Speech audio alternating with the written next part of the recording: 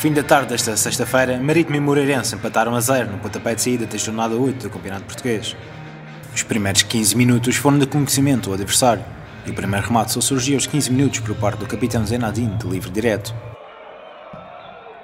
Logo a seguir, a equipa visitante respondeu, com o remate de Felipe Pires ainda algo tímido, que Miguel Silva encaixou. Aos 24 minutos, Miguel Silva fez uma grande defesa ao cabeceamento decisivo na vitória, ainda que o árbitro tenha assinalado falta a favor dos verde-rubros.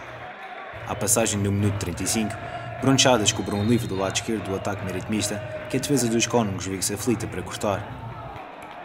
Na segunda metade do encontro, foi do Moreirense a primeira ocasião de gol, com o Felipe Pires a tirar a tinta à barra da baliza de Miguel Silva. O relógio marcava os 65 minutos, quando Vidigal puxou a equipa para a zona de perigo e chutou um pouco por cima da baliza de Kevin. Até a final do jogo, há apenas a salientar o facto dos verde-rubros terem acabado a partida por cima, com várias jogadas bem conseguidas.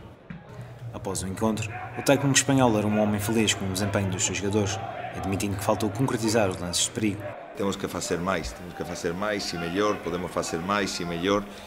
Eh, nada que decir a nivel de trabajo, de voluntad, de, de, compromiso, como siempre la equipa en ese sentido excepcional, pero sobre todo nos, nos, nos costó en la fase con bola ser capaces de, de, agredir más al equipo adversario. En momentos en la primera parte en, lo, en, la que les esperaban, sobre todo empezaban a hacer la primera presión cuando recibían nuestros laterales, nos costaba enlazar con